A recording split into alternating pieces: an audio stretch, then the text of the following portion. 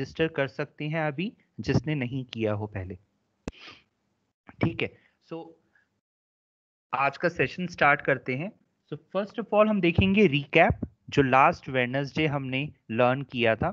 सो last Wednesday हमारा जो session था वो कंप्लीट वायर्ड सॉल्यूशन के ऊपर था। तो उसमें हमने जो समझा था सिस्टम आर्किटेक्चर कि system architecture of inclusion detection system का क्या होता है। जिसमें हमने लर्न किया था input sensors processors then output and then C M S softwares इसके बारे में हमने अंडरस्टैंड किया था। देन नेक्स्ट हमारा जो uh, हमने पढ़ा था वो पढ़ा था PCB layout of different panels so we have five type of different panels starting from smallest panel से अगर हम बात करें जो हमारा सबसे छोटा पैनल है वो है एलीट 24 जिसमें हमें 24 जोन्स मिलते हैं एंड गोइंग फर्दर सबसे biggest panel we have Elite 640 so हमने ईच एंड एवरी पैनल का पीसीबी लेआउट समझा था। पीसीबी लेआउट मतलब ऑल द कंपोनेंट्स जो हमारे उस पैनल के पीसीबी बोर्ड पे होते हैं, उनका क्या मतलब होता है? देन हमने समझा था कि कैसे पैनल को पावर अप करते हैं डिफ़ॉल्ट करके देन पावर अप करना, वो हमने लर्न किया था। जो हमने ये प्रोसीजर समझा था, वो हमने देखा था एलीट 64 डब्ल्यू पैनल पे। करेक्ट देन एक हमारा सॉफ्टवेयर आता है विंटेक्स सॉफ्टवेयर जो प्रोग्रामिंग एंड डायग्नोस्टिक्स पर्पस के लिए होता है। सो so, वो कैसे सेटअप करना है? फ़र्स्ट ऑफ़ ऑल हमने देखा था कि हमने डाउनलोड कहाँ से करना है। डाउनलोड करने के बाद उस सॉफ्टवेयर को हमें कनेक्ट करना है पैनल के साथ। तो कनेक्ट करने के क्या क्या तरीके होते हैं? वो हमने देखा था। देन वायर्ड सेंसर्स कैसे हम ऐड करते हैं पैनल में?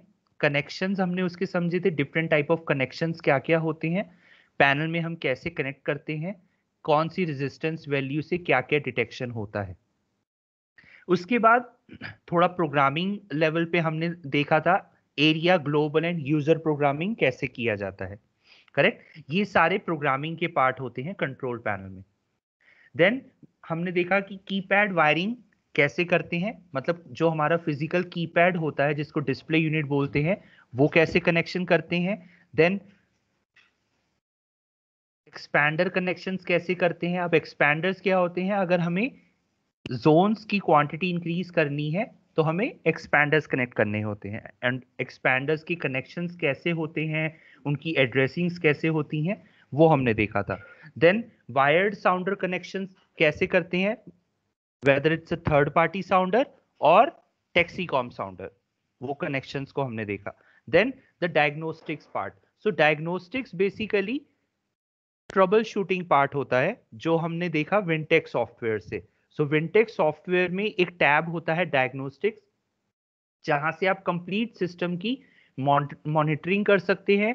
मॉनिटरिंग इन द सेंस आप देख सकते हैं each and every zone wise क्या स्टेटस है एरिया वाइज क्या स्टेटस है मेरे कम्युनिकेटर मॉड्यूल्स वर्किंग है कि नहीं? सो कंप्लीट सिस्टम का डायग्नोस्टिक्स आप कर सकते हैं।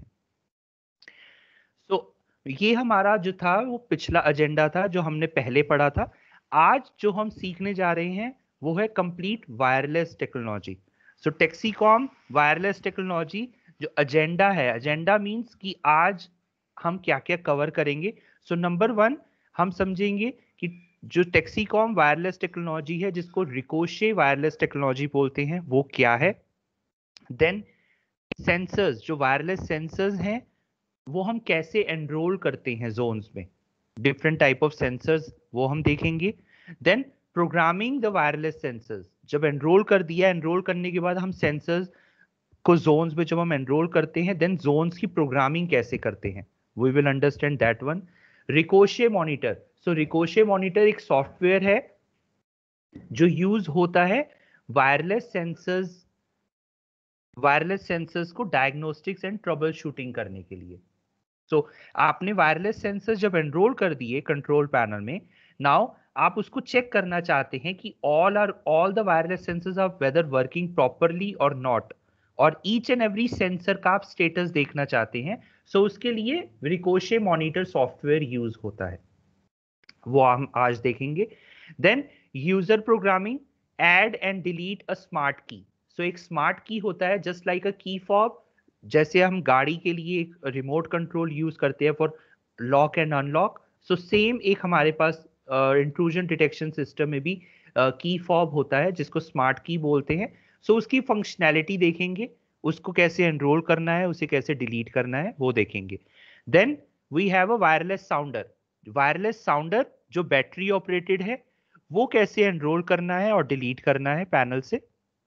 Then we have a wireless keypad also and a wireless expander also so that we will understand कि वो कैसे एनरोल करने हैं कनेक्शंस कैसे करने हैं correct okay so moving further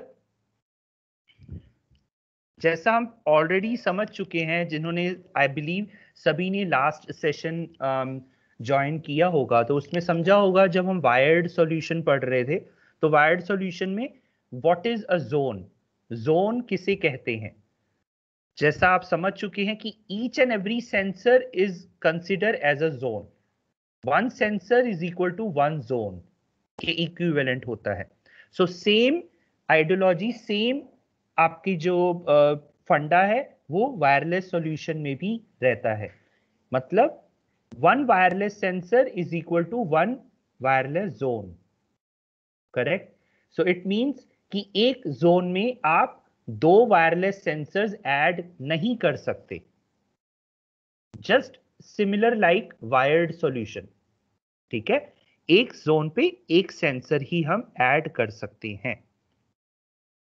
So this is called a zone now अब जैसा अगर आपको याद हो, हमने अगर लास्ट जब सेशंस किए थे, जो कि इंग्लिश हमारे सेशंस में थे इंग्लिश लैंग्वेज में थे तो उस सेशन में हमने समझा था और जब हम आपको समझा रहे थे तो हमने एक एग्ज़ाम्पल लिया था रेजिडेंस एरिया का, ठीक है? कि हम एक रेजिडेंस एरिया में इंट्रूजन डिटेक्शन सिस्टम लगाने जा रहे हैं। तो अब एक रेजिडेंस अब यहाँ पे भी हम वही एग्ज़ाम्पल लेंगे, जिससे आपको समझने में ईजी रहेगा। तो अगर हम एक रेजिडेंस लेते हैं, जो हमारा टू फ्लोर का रेजिडेंस बना हुआ है इंडिपेंडेंट हाउस बना हुआ है। तो उस हाउस में अगर हम इंट्रूजन डिटेक्शन सिस्टम लगाते हैं तो इंट्रूजन डिटेक्शन सिस्टम में बेसिकली अलग अलग टर्मोलॉजीज होती हैं। जैसे आप देख रहे हैं अपनी स्क्रीन पे फ़र्स्ट टर्मोलॉजी यहाँ पे दिखा रहा है जोन देन सेकेंड टर्मोलॉजी दिखा रहा है एरिया एंड थर्ड टर्मोलॉजी दिखा रहा है ग्लोबल अब ये सर्कल से आपको कुछ समझ में आ रहा होगा कि जो जोन है वो एरिया का पार्ट होता है। मतलब within the area we have number of zones एक एरिया में हमारे नंबर ऑफ़ जोन्स हो सकते हैं। करेक्ट एंड ग्लोबल का मतलब क्या होता है? कि group of areas is consider as global मतलब अगर मैं एक रेजिडेंस की बात करूँ ground floor first floor second floor ठीक है? मेरे तीन फ्लोर बने हैं ground floor first floor second floor ground floor मेरा एक ऑफ़िस एरिया है फ़र्स्ट एंड सेकंड फ्लोर मेरा रेजिडेंस एरिया है। एक कस्टमर का ऐसे उसने सेटअप कर रखा है। और हमें वहाँ पे इंक्लूजन डिटेक्शन सिस्टम लगाना है। सो so, उस केस में क्या होगा? उस केस में हमें कैसे सेटअप करना होगा? ग्राउंड फ्लोर पे हमने total number of zones calculate कर लिए। हमारे टोटल नंबर ऑफ़ सेंसर्स कितने कितने लग रहे हैं? एंट्री एग्जिट पॉइंट सारे कैलकुलेट कर लिए डोर्स विंडोज़ सब कैलकुलेट हमने कर लिया। उसके बाद ऐसे ही नंबर ऑफ़ जोन्स हमने फ़र्स्ट फ्लोर के कैलकुलेट कर लिए और सेम हमने सेकंड फ्लोर के कैलकुलेट कर लिए। करेक्ट सो so, हमारे पास तीनों फ्लोर्स के टोटल नंबर ऑफ़ जोन्स हमारे पास आ गए। अब हमने क्या किया? हमने ग्राउंड फ्लोर को डिफरेंट एरिया में डिफाइन कर दिया। फ़र्स्ट फ्लोर को डिफरेंट एरिया में डिफाइन कर दिया और सेकेंड फ्लोर को भी हमने डिफरेंट एरिया में डिफाइन कर दिया। मतलब फॉर एग्ज़ाम्पल हमने ग्राउंड फ्लोर को बोल दिया एरिया ए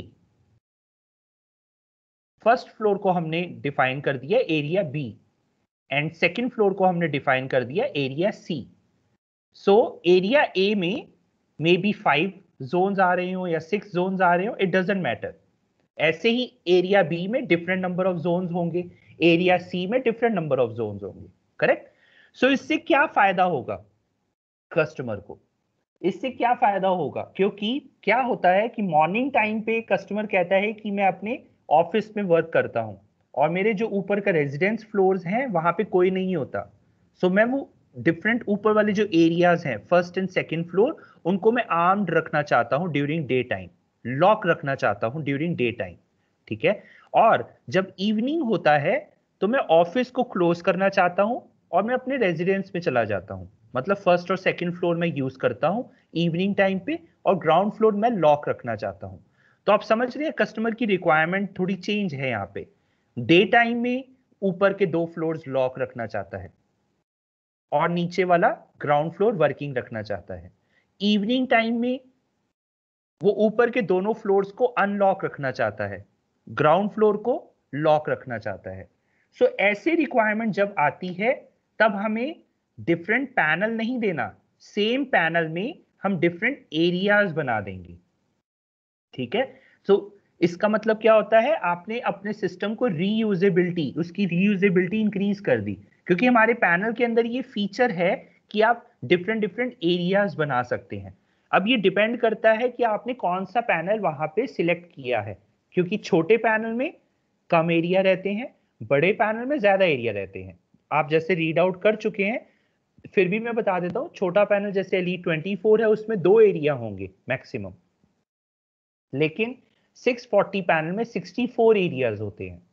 सो so, उसी उसी कैटेगरी की वजह से हमें पैनल भी सिलेक्ट करना पड़ता है as per the requirement of the customer अगर हमें चार एरिया बनाने हैं तो हमें वैसे ही अकॉर्डिंगली पैनल सिलेक्ट करना पड़ेगा।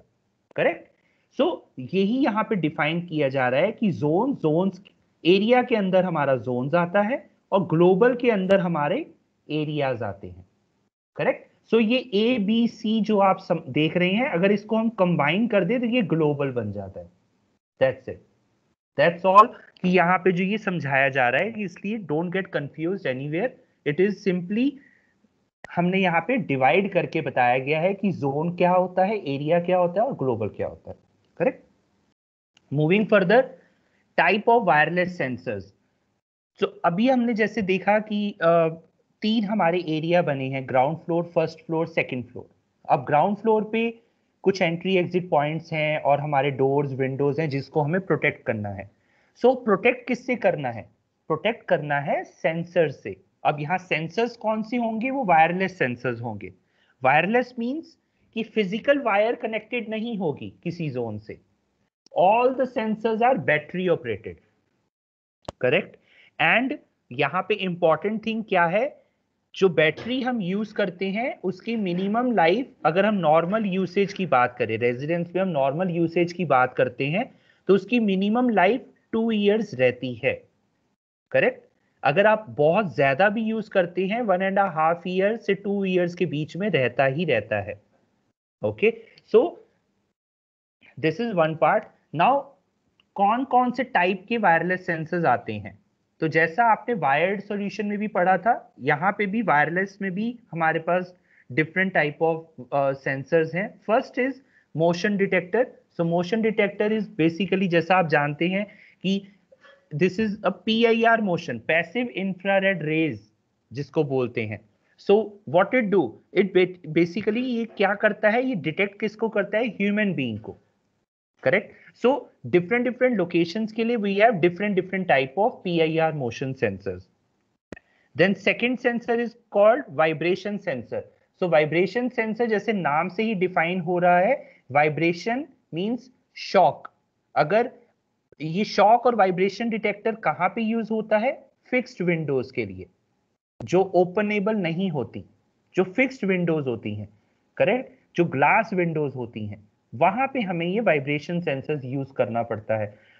क्यों करना पड़ता है? इन केस अगर कोई मेरी विंडो को ब्रेक करके अंदर आने की कोशिश कर रहा है सो ये मेरा सेंसर अलर्ट देता है मेरे कंट्रोल पैनल को।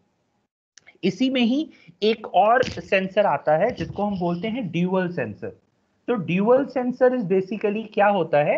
ड्यूअल जैसे आप नाम से आपको समझ में आ रहा होगा, यहाँ पे लिखा भी है S C correct so S means shock मतलब वाइब्रेशन या शॉक एक ही वर्ड है एंड सी मतलब कॉन्टैक्ट सो so, ये ये जो ड्यूअल सेंसर है ड्यूअल का मतलब क्या होता है? जिसमें दो टेक्नोलॉजीज़ हैं मतलब वाइब्रेशन भी है और मैग्नेट वाला पार्ट भी है। तो ये हम कहाँ पे यूज़ करेंगे?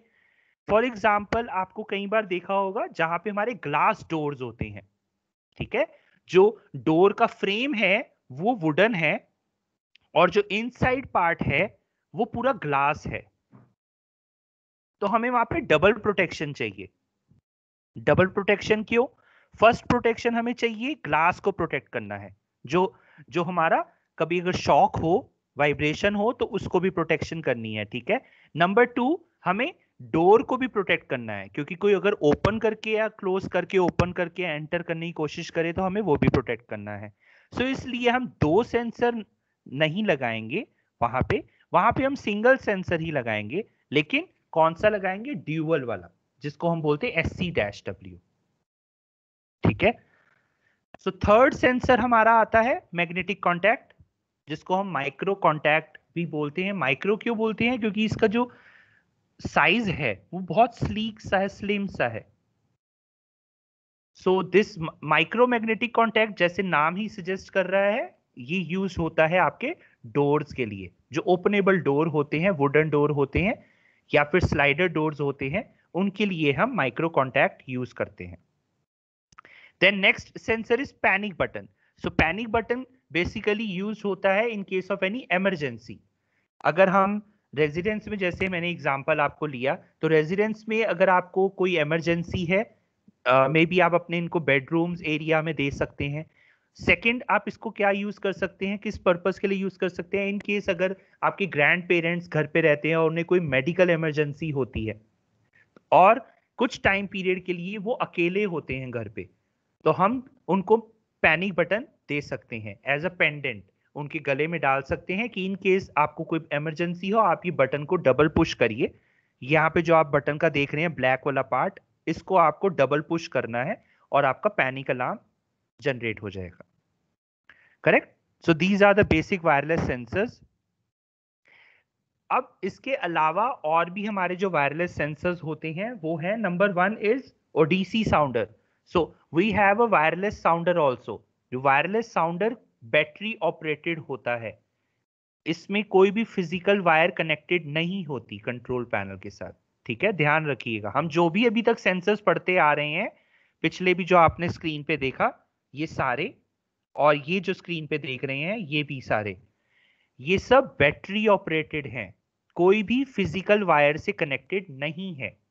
Correct so ODC five W W means wireless जो कि बैटरी ऑपरेटेड हमारा वायरलेस साउंडर आता है।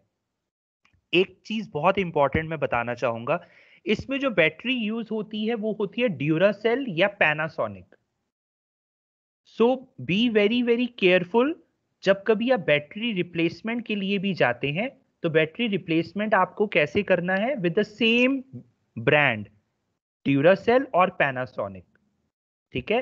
कई बार मैंने देखा है और मुझे जब टेक सपोर्ट पे कॉल्स आती हैं कि हम निप्पो की बैटरी यूज़ कर रहे हैं या फिर एवर रेडी की बैटरी यूज़ कर रहे हैं, कोई लोकल मेक यूज़ कर रहे हैं तो लोकल मेक अगर यूज़ करेंगे तो ये मेरा ऑपरेट नहीं होगा। ठीक है? इसके लिए ड्यूरासेल या पैनासोनिक बैटरी ही यूज़ करनी पड़ेगी। Then come to the another sensor which is called smart key. So, smart आपका बिल्कुल सिमिलर प्रोडक्ट है just like the remote control so remotely अगर आप सिस्टम को लॉक या अनलॉक करना चाहते हैं, जिसको हम इंट्रूजन डिटेक्शन सिस्टम में बोलते हैं आर्मिंग और डिसआर्मिंग तो वो हम कर सकते हैं। आप यहाँ पे बटन्स देख रहे हैं। सो डिफरेंट डिफरेंट बटन्स होते हैं। दिस ये बटन होता है पावर ऑन ऑफ़ का। देन ये जो ग्रीन बटन है अनलॉक अगर आप देखेंगे तो अनलॉक वाला जो बटन है, ये होता है डिसआर्म का। ऊपर रेड वाला बटन जो लॉक वाला है, ये होता है फुल आर्म का, कि पूरे एरिया को मुझे फुल आर्म करना है। ये जो ऑरेंज वाला होम बटन देख रहे हैं, ये होता है पार्ट आर्म का। तो पार्ट आर्म मतलब क्या होता है कि अगर कस्टमर कहता है कि जब मैं आर्मिंग करूँ तो मैं कोई एक या दो जोन्स को आर्म्ड नहीं करना चाहता। अगर मेरे सिस्टम में टोटल टेन जोन्स बने हैं, फॉर एग्ज़ाम्पल टेन में से मैं, at a time eight zones को आर्म्ड करना चाहता हूँ। बाकी जो दो, मेरे दो जोन्स हैं, उनको मैं डिसआर्म्ड ही रखना चाहता हूँ। तो उस केस में हम फुल आर्म नहीं करेंगे, उस केस में हम पार्ट आर्म करेंगे। और ज़रूरी नहीं है वो दो जोन्स ही डिसआर्म रखना चाहता है। As per the requirement of the customer अगर कस्टमर कहता है मुझे एक जोन को डिसआर्म रखना है, बाकी सब आर्म्ड रखें तो वो भी हम कर सकते हैं। लेकिन वो एक प्रोग्रामिंग का पार्ट है तो जस्ट आपको एक बता रहा हूँ कि इस बटन का मतलब क्या होता है। ठीक है पार्ट आर्म मतलब इसको बोलते हैं तो part arming is also possible another product is wireless keypad तो दिस वायरलेस कीपैड जो इसकी बैटरी लाइफ होती है, वो फोर इयर्स होती है। अब फोर इयर्स क्यों होती है? Same like your smart key smart key भी आपकी फोर इयर्स होती है बिकॉज़ ये मेरे ऑटो स्लीप मोड में चले जाते हैं।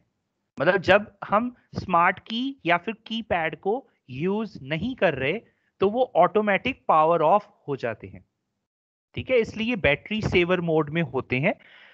अनदर थिंग जो वायरलेस कीपैड है या फिर वायरलेस की फॉब है, ये दोनों विद इन टेन मीटर्स में होने चाहिए मेरे वायरलेस रिसीवर के। जो वायरलेस रिसीवर कनेक्टेड है रेजिडेंस एरिया में या जिस भी साइट पे हम यूज़ कर रहे हैं, उसके विद इन टेन मीटर्स में ये ऑपरेट होंगे। ये बहुत इंपॉर्टेंट है, क्योंकि हम कई बार वायरलेस कीपैड एनरोल करते हैं और इसको हम यूज़ कर रहे हैं थर्टी मीटर्स पे। तो क्या होता है कि वायरलेस कीपैड हैंग हो जाता है। तो ये चीज़ ध्यान रखिए, ठीक है? Coming to the next topic type of wireless expander अब जैसा हम ऑलरेडी पढ़ चुके हैं कि हमने wireless different type of wireless sensors देखे। कौन कौन से वायरलेस सेंसर्स हैं? अब ये वायरलेस सेंसर्स कहाँ पे एनरोल होते हैं? जोन्स में करेक्ट अब जोन्स हमें कहाँ पे मिलेंगे? जोन्स हमें मिलते हैं यूजिंग वायरलेस एक्सपैंडर्स में, ठीक है? अब यहाँ पे दो टाइप के एक्सपैंडर्स आप देख रहे हैं, जिसका नाम है प्रीमियर एलीट 8 एक्सपीडब्ल्यू जिसमें हमें एट वायरलेस जोन्स मिलते हैं। Another one is Premier Elite 32 XP dash W जिसमें हमें 32 वायरलेस जोन्स मिलते हैं। ठीक है? तो इसका मतलब है एट वायरलेस जोन्स मतलब मैं maximum eight wireless sensors add कर सकता हूँ। एट वायरलेस सेंसर्स मैं ऐड कर सकता हूँ। ठीक है? और 32 wireless zones 32 wireless zone expander का मतलब है 32 जोन्स में मैं 32 वायरलेस सेंसर्स ऐड कर सकता हूँ। सो so, टीम आपको पता है जैसे यहाँ पे हमने देखा है अभी सारे वायरलेस सेंसर्स। ये हमने देखे साउंडर्स की फॉब कीपैड और ये सभी सेंसर्स। तो ये सारे सेंसर्स मेरे जोन्स में एनरोल होते हैं except key fob key fob मेरा यूज़र पे एनरोल होता है। ठीक है? Apart from that key fob को छोड़ के बाकी सभी सेंसर्स चाहे वो कीपैड हो वायरलेस कीपैड हो या वायरलेस साउंडर हो या कोई और वायरलेस सेंसर हो, वो सभी मेरे जोन्स में एनरोल होते हैं। और जोन्स मुझे कहाँ पे मिलते हैं? जोन्स मुझे वायरलेस एक्सपैंडर्स में मिलते हैं, जो कि दो टाइप के हैं। ठीक है?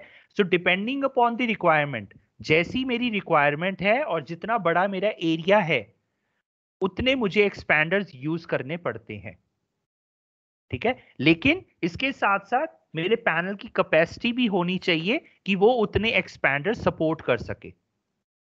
जैसे छोटे पैनल में दो एक्सपैंडर्स यूज़ कर सकते हैं, बड़े पैनल में 64 एक्सपैंडर्स यूज़ कर सकते हैं। सो डिपेंडिंग अपॉन आप कौन सा पैनल यूज़ कर रहे हैं, कितनी बड़ी साइट है, उसके अकॉर्डिंग हम जोन एक्सपैंडर्स यूज़ करते हैं। जोन एक्सपैंडर्स बोलूँ या वायरलेस एक्सपैंडर बोलूँ या वायरलेस रिसीवर बोलूँ all are the one and the same thing confuse मत होना कि मैं बा, कभी बोलूँगा वायरलेस रिसीवर, कभी मैं बोलूँगा वायरलेस एक्सपैंडर। सो टेक्सीकॉम में इसका मतलब एक ही होता है। Wireless expander is equal to wireless receiver. अब हम देखेंगे वॉट आर हॉप्स सो ये बहुत इंपॉर्टेंट टर्मोलॉजी है समझने के लिए टेक्सीकॉम में।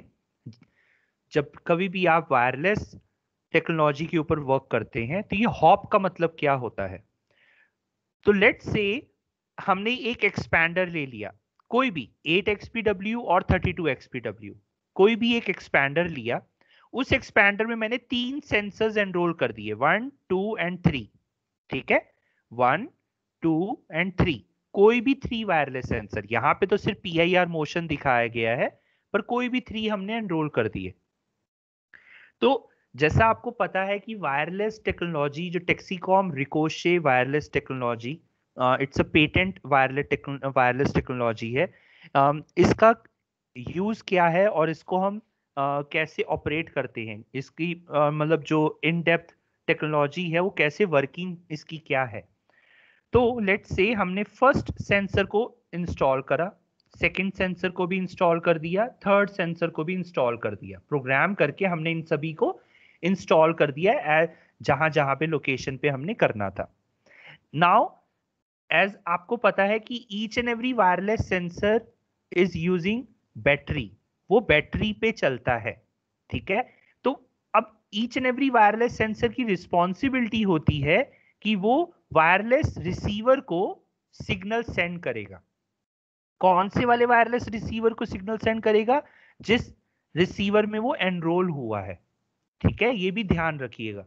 ऐसा नहीं है कि कोई भी नियर बाय रिसीवर है, उसको उसने सिग्नल भेजना है। ऐसा नहीं है। जो भी सेंसर जिस रिसीवर में एनरोल हुआ है, उस सेंसर की रिस्पॉन्सिबिलिटी है वो कुछ टाइम के बाद एक्सपैंडर को सिग्नल सेंड करेगा। कौन सा सिग्नल सेंड करेगा? कि भाई आई एम अलाइव मैं ज़िंदा हूँ। ठीक है? फॉर एग्ज़ाम्पल जैसे हम घर से ऑफ़िस जाते हैं ऑफ़िस जाके हम थोड़ी देर बाद घर पे एक मैसेज सेंड कर देते हैं रीच्ड ऑफ़िस तो घर वालों को भाई संतुष्टि हो जाती है कि हाँ घर ऑफ़िस पहुँच गए ठीक ठाक सेम मेरा सेंसर भी यहाँ पे काम करता है। अब इस सेंसर को सिग्नल भेजना है। तो वो कैसे भेजेगा? तो ये मेरा जो सेंसर होता है, इसको बोलते हैं ट्रांस रिसीवर और इसको हम बोलते हैं it is acting as a repeater ये रिपीटर की तरह काम करते हैं। कैसे? ये जो सेंसर है, जिसको हम बोलते हैं इंटेलिजेंट डिवाइस ये नियर बाय सेंसर को सिग्नल सेंड करेगा। जो भी इसके नियर बाय होगा। तो सेकेंड सेंसर ने सिग्नल रिसीव कर लिया। अब इस सेंसर ने क्या किया? सिग्नल को बूस्ट किया और इसने भी नियर बाय सेंसर को सिग्नल आगे सेंड कर दिया। अब इस सेंसर ने फिर से सिग्नल को बूस्ट किया और इसने अब रिसीवर को सिग्नल सेंड कर दिया। ठीक है? तो आपने देखा कि फ़र्स्ट सेंसर ने सेकंड सेंसर को सिग्नल भेजा। सेकंड वायरलेस सेंसर ने थर्ड वायरलेस सेंसर को सिग्नल भेजा। और इस थर्ड वाले ने लास्ट में रिसीवर को सिग्नल भेज दिया। Correct so this is called hopping मतलब एक सेंसर से सेकंड सेंसर पे आया सेकंड से थर्ड पे आया थर्ड पे सीधा रिसीवर को हो गया। तो hop one two and three और एक चीज़ और ध्यान रखिएगा थ्री हॉप से ज़्यादा ये हॉपिंग नहीं करता। ऐसा नहीं है कि हम सेंसर पे सेंसर लगाते जाएँ और सिग्नल रिपीट करते जाएँ करते जाएँ करते जाएँ। ऐसा नहीं होता। इसकी कुछ लिमिटेशन है। ये जो हॉपिंग है, ये कुछ पर्टिकुलर डिस्टेंस पे ही कर सकता है। तो इन शॉर्ट अगर मैं बोलूँ, ये जो रिसीवर है मैक्सिमम ये जो हॉपिंग कर सकता है, ये कर सकता है 40 टू 50 मीटर्स तक। पर डिपेंडिंग अपॉन क्या डिपेंड करता है? कि वहाँ पे इंटरफेरेंस हमारी कम से कम हो। जितनी इंटरफेरेंस हमारी कम से कम होगी, उतने मेरे सिग्नल्स प्रॉपरली ट्रांसमिट करेंगे प्रॉपरली ट्रेवल करेंगे। अब ये सिग्नल्स क्या होते हैं? इन सिग्नल्स को बोलते हैं RF signal radio frequency signal जो टेक्सीकॉम वायरलेस सेंसर्स वर्क करते हैं, वो करते हैं 866 मेगाहर्ट्ज आरएफ फ्रीक्वेंसी पे। ठीक? जो सिग्नल्स मैं बोल रहा हूँ, ये बेसिकली 866 मेगाहर्ट्ज फ्रीक्वेंसी है जिस पे ये मेरे सभी वायरलेस सेंसर्स वर्क करते हैं कम्युनिकेट करते हैं विद वायरलेस रिसीवर के साथ। ठीक है? सो आई थिंक सिंपली ये समझ में आ गया होगा। इसमें कोई प्रॉब्लम नहीं होगी समझने में कि ये हॉप कैसे कर रही हैं। इसके बाद हम एक वायरलेस जो रिकोशे मॉनिटर का स्ट्रक्चर है, वो देखेंगे। कि एग्जैक्टली exactly वो होता क्या है तब आपको अच्छे से समझ में आएगा।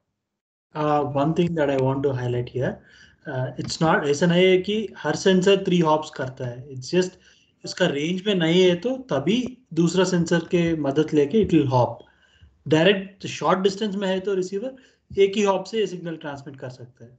Yes yes thanks Marish so अभी आपको समझ में आ गया होगा कि ज़रूरी नहीं है कि उसने सिग्नल दूसरे सेंसर को भेजना ही भेजना है, दूसरे ने तीसरे को भेजना है।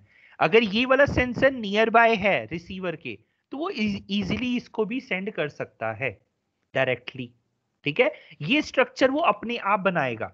हमें इसमें कोई भी रोल प्ले करने की ज़रूरत नहीं है। हमें क्या सिर्फ़ ध्यान रखना है, जो ये मेरा वायरलेस रिसीवर है, ये मेरा ओपन एरिया में होना चाहिए। ऐसा नहीं है कि इसको मैं कैबिनेट में बंद करके रख दूँ या सर्वर रूम में बंद करके रख दूँ, छुपा के रख दूँ वायरलेस रिसीवर को। ऐसा हम नहीं कर सकते, क्योंकि सारे वायरलेस सेंसर तो मेरे रिसीवर के साथ ही कम्युनिकेट कर रहे हैं। ठीक है तो बहुत इंपॉर्टेंट है वायरलेस रिसीवर की लोकेशन कहाँ पे आपने इसको लोकेट किया है?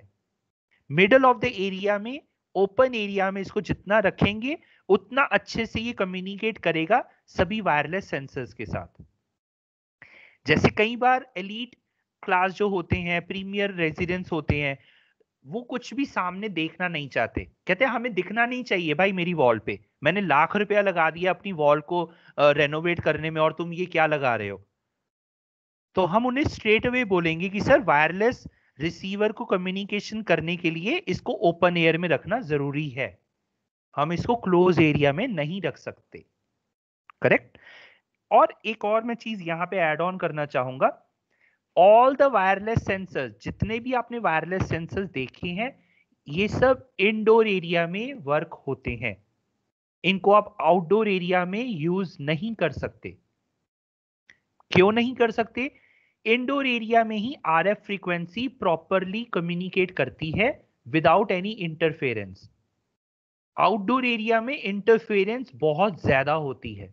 इसलिए आपके आउटडोर एरिया में वायरलेस टेक्नोलॉजी वर्क नहीं करती प्रॉपर। ठीक है? इट्स नॉट लाइक कि टेक्सीकॉम में ही नहीं करती। आप कोई और भी ब्रांड देख लेंगे तो उसमें आपका वायरलेस टेक्नोलॉजी में प्रॉब्लम आएगी अगर आप आउटडोर एरिया में यूज़ करेंगे तो। आउटडोर में अब कईयों के दिमाग में ये भी आ रहा होगा, मे बी अगर ना भी आ रहा हो, मैं फिर भी बता देता हूँ कि आउटडोर बालकनी एरिया है, हम वहाँ पे यूज़ कर सकते हैं क्या वायरलेस सेंसर्स नहीं कर सकते। आउटडोर मतलब आउटडोर चाहे वो बालकनी एरिया हो या ओपन वरांडा हो। आउटडोर आ गया तो हम वायरलेस यूज़ नहीं कर सकते। ठीक है?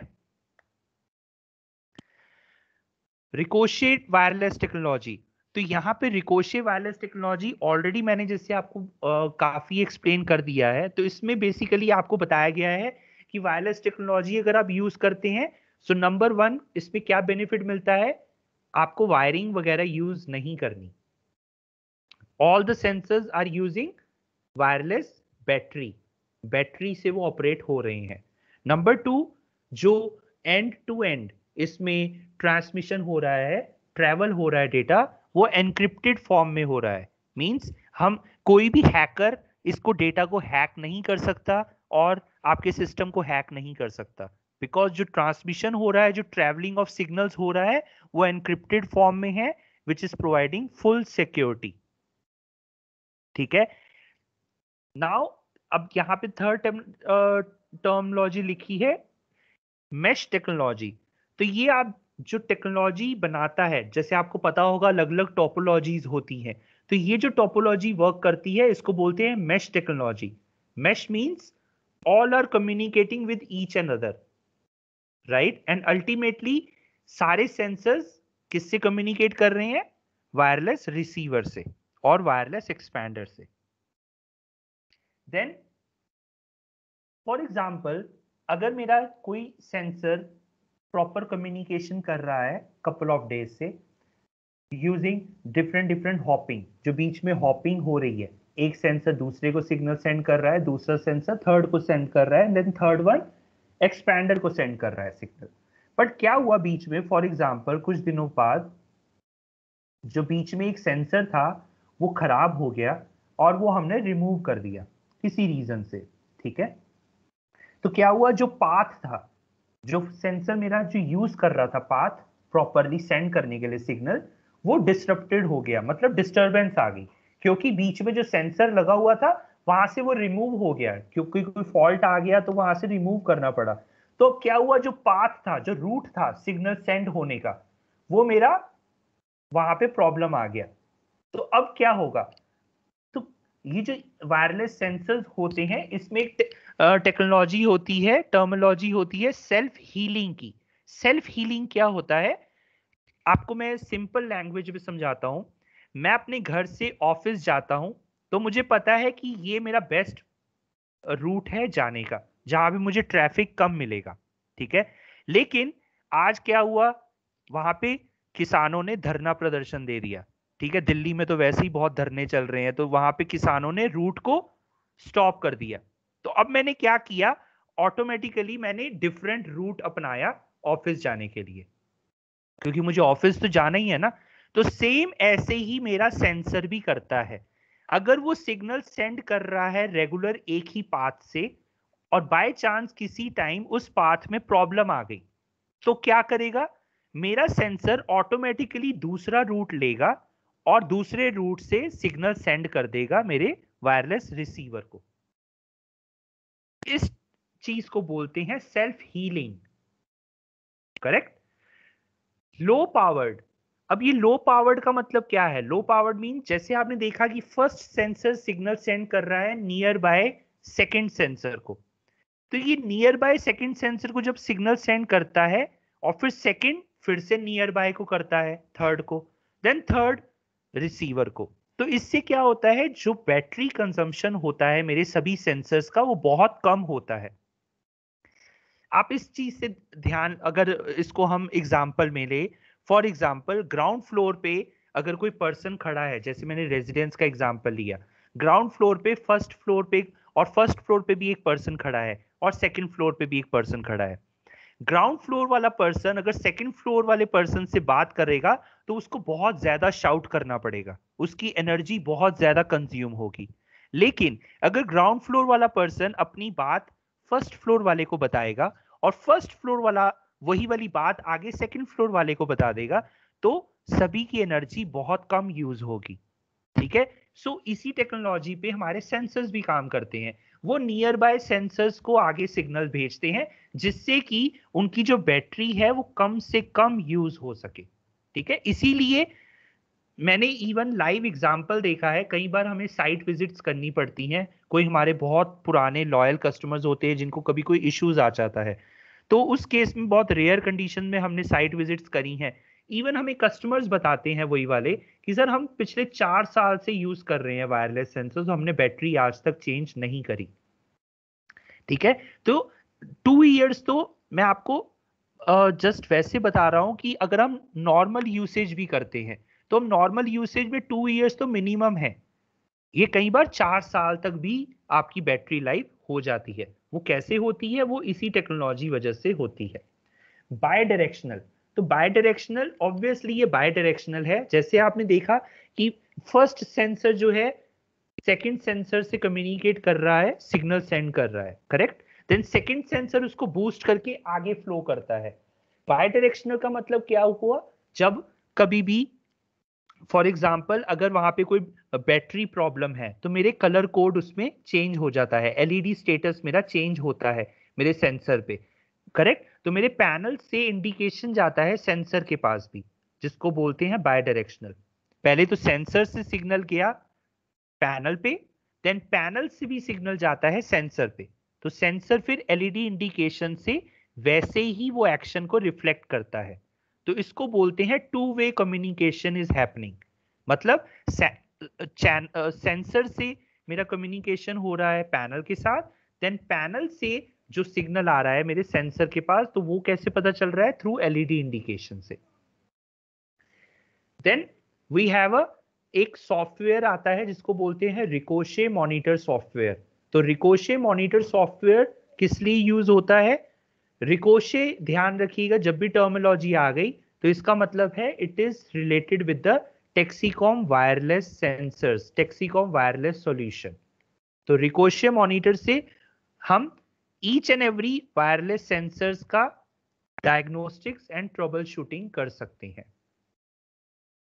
वो हम देखेंगे जब हम रिकोशे मॉनिटर सॉफ्टवेयर ओपन करेंगे।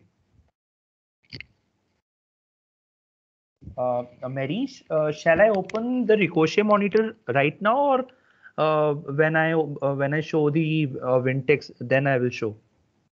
Uh, you can after you finish this, then you can show the Ricochet monitor. Uh, finish the after the completion of uh, the complete module. No, no, just this slide. Just this slide. Okay. So team जैसे अभी हमने देखा कि wireless technology, wireless mesh technology क्या होती है? ठीक है? तो वायरलेस मेश टेक्नोलॉजी में जैसे आपने देखा कि अगर हमारे वायरलेस सेंसर्स हैं, वो कम्युनिकेट कैसे कर रहे हैं? कितने हॉपिंग पे वो कम्युनिकेट करते हैं? बाय डायरेक्शनल होते हैं सेल्फ हीलिंग होते हैं ऑटोमेटिक वो पाथ जनरेट कर लेते हैं। तो ईच एंड एवरीथिंग हमने अंडरस्टैंड करी। नाउ यहाँ पे आप देखेंगे, अब ये वायरलेस जो टेक्नोलॉजी है ये जो कंप्लीट पाथ बना रहा है जिसको हम बोलते हैं मेश टोपोलॉजी ये कैसे क्रिएट करता है? कुछ तो इसमें फंडा होता है जो ये ऑटोमेटिक क्रिएट करता है अपना पाथ तो कैसे करता है? अब हम वो देखते हैं। सॉरी सो so, हमने जैसे फॉर एग्जांपल स्टार्टिंग में लिया था एक रेजिडेंस हाउस जो हमारे तीन फ्लोर हैं ground first and second for example मैं तीनों फ्लोर्स में वायरलेस सेंसर्स एनरोल करने जा रहा हूँ। मैंने वायरलेस सेंसर्स एनरोल कर दिए। तीनों फ्लोर्स पे मेरे एक एक रिसीवर इंस्टॉल्ड हैं। वायरलेस एक्सपैंडर जिसको बोलते हैं। अब वायरलेस एक्सपैंडर मैंने इंस्टॉल कर दिए। वायरलेस सेंसर्स मैंने सभी जगह पे इंस्टॉल कर दिए। डोर्स विंडोज़ जहाँ जहाँ पे P I R motion wireless keypad सब कुछ कर दिया। करेक्ट अब क्या होगा? वायरलेस रिसीवर मेरा नेटवर्क क्रिएट करेगा।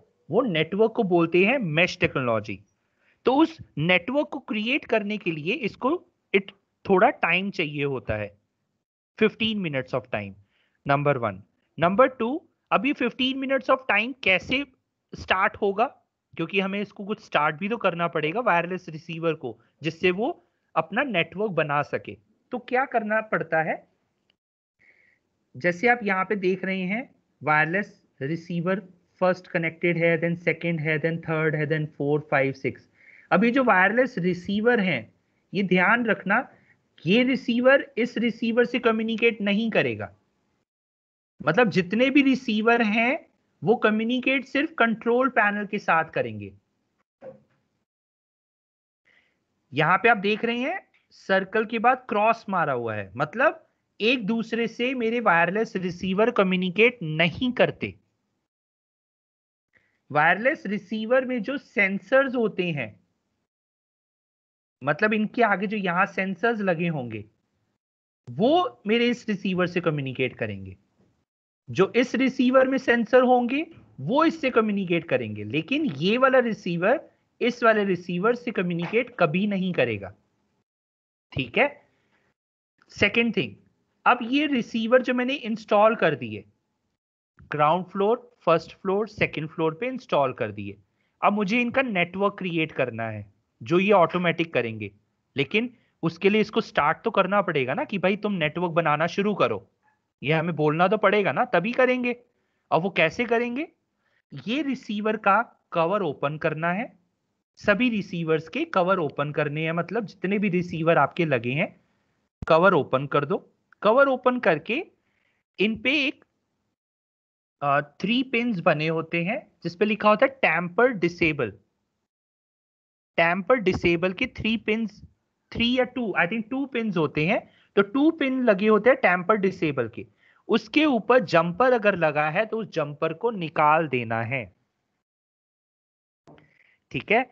तो इस प्रोसेस को बोलते हैं कमीशन मोड कमीशन मोड मतलब जब तक हम वायरलेस एक्सपैंडर्स को कमीशन मोड में नहीं डालेंगे, तब तक वो अपना मेश नेटवर्क क्रिएट नहीं करेगा। ठीक है? दोबारा से मैं रिपीट कर रहा हूँ। कमीशन मोड में डालने के लिए मतलब मेश नेटवर्क क्रिएट करवाने के लिए इस एक्सपैंडर को मुझे क्या करना होगा? एक्सपैंडर का कवर ओपन करना होगा और अंदर टैंपर डिसेबल की दो पिंस होंगी, उसके ऊपर अगर जंपर लगा है तो जंपर को हटाना होगा। तब उसके बाद ये पंद्रह मिनट का टाइम लेता है मैक्सिमम और ये अपना मेश नेटवर्क ऑटोमेटिकली क्रिएट कर देता है। ठीक है? सेकेंड थिंग अब आप थोड़ा यहाँ पे इमेज देख रहे होंगे कि ये क्या चीज़ है। ये भी बेसिकली कमीशन मोड में ही डाल रहे हैं। लेकिन आप सभी को पता होगा कि एक हमारा कंट्रोल पैनल आता है एलीट 64 डैश डब्ल्यू टेक्सीकॉम में प्रीमियर एलीट 64 डैश डब्ल्यू जो फाइव कैटेगरीज ऑफ़ पैनल्स हैं उसमें से एक कैटेगरी का पैनल जिसमें हमें inbuilt wireless sensors inbuilt wireless zones मिलते हैं।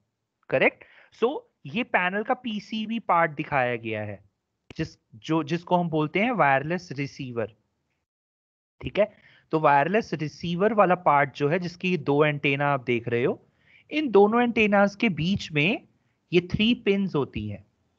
जिस पे लिखा होता है फिट फॉर कमीशन मोड तो फ़र्स्ट टू पिन पे फिट फॉर कमीशन मोड आपका होता है। तो फॉर एग्ज़ाम्पल अगर हम किसी साइट पे 64 डैश डब्ल्यू पैनल लगा रहे हैं लेट से मेरा three B H K house है 1000 square feet area single floor three B H K house वहाँ पे मैं 64 डब्ल्यू पैनल लगाने जा रहा हूँ और मैंने 20 वायरलेस सेंसर्स इंस्टॉल कर दिए हैं। एनरोल करके प्रोग्रामिंग करके मैंने इंस्टॉल कर दिए माउंट कर दिए हैं 20 सेंसर्स अब ये 20 सेंसर्स का नेटवर्क भी बनाना ज़रूरी है है ना? जिससे वो कम्युनिकेट करेगा। अब वो कम्युनिकेट कैसे करना स्टार्ट कैसे करेगा? मेश नेटवर्क कैसे स्टार्ट करेगा? यहाँ पे मुझे जंपर डालना होगा।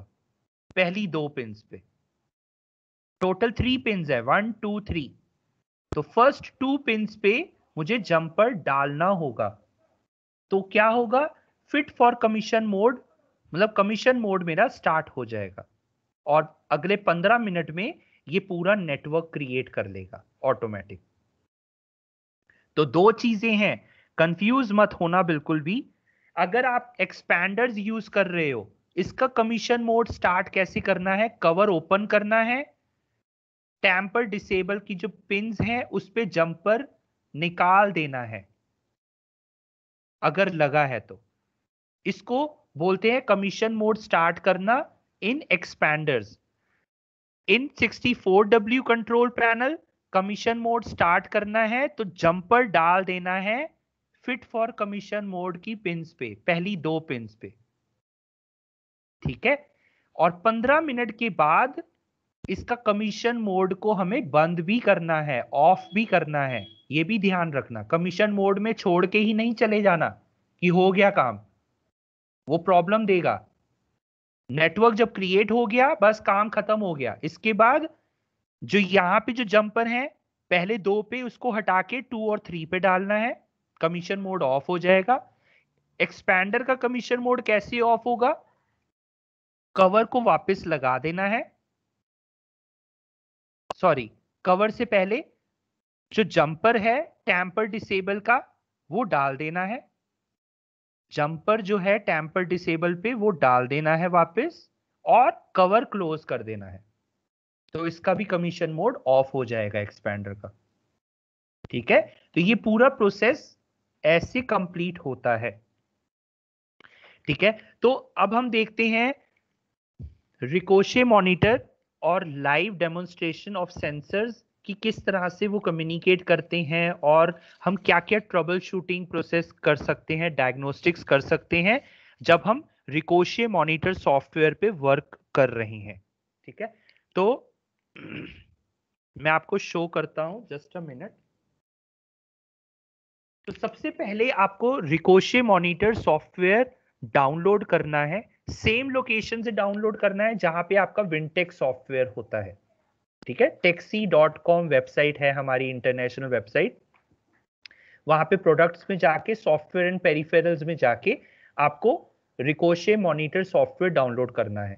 और जब आप रिकोशे मॉनिटर सॉफ्टवेयर डाउनलोड कर लोगे तो आप उस सॉफ्टवेयर को विंटेक सॉफ्टवेयर में ही एक ऑप्शन आता है, वहीं से ही ओपन कर सकते हो। ठीक है? मैं आपको शो करता हूँ। जैसे विंटेक्स हमने ओपन किया।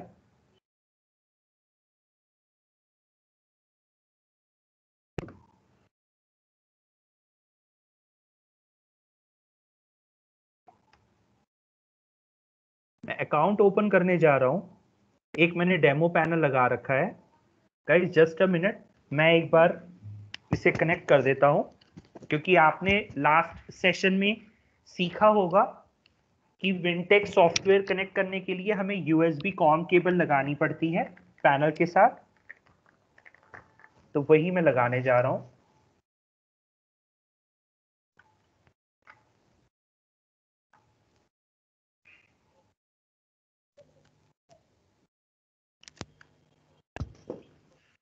मैंने कनेक्ट कर दिया है। कनेक्ट पे जाएँगे कनेक्ट यूजिंग पीसी कॉम तो ऑनलाइन रेडी हो गया। जब ऑनलाइन रेडी हो जाता है, इसके बाद आपने देखा होगा रिकोशे मॉनिटर वाला हाईलाइट हो गया। ठीक है? जब आप इसको डिस्कनेक्ट करेंगे तो ये ग्रिड आउट हो जाएगा। जब आप कनेक्टेड होते हैं कंट्रोल पैनल के साथ तब आपको ये रिकोशे वाला जो टैब है हाईलाइट हो जाता है। तो अभी यहाँ पे मेरे सॉरी अभी मेरे जो यहाँ रेजिडेंस में है तीन चार वायरलेस सेंसर्स हैं, उसको देखते हैं, वो कौन कौन से हैं। क्लिक करेंगे रिकोशे पे।